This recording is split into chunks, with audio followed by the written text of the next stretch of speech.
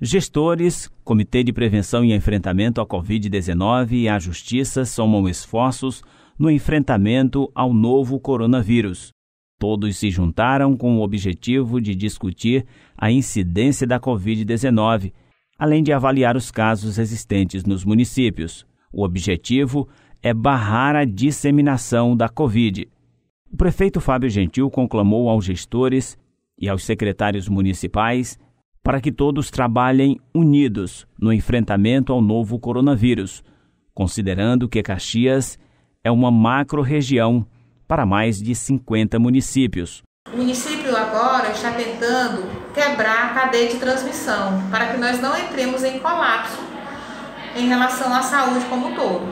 O número de leitos hospitalares está sendo ampliado, mas independente dessa ampliação, a quantidade de casos que estão acometendo os nossos munícipes ela é superior à quantidade que nós temos instaladas. Participaram da reunião representantes das cidades de Caxias, Aldeias Altas, São João do Soter, Coelho Neto, Duque Bacelar e Afonso Cunha.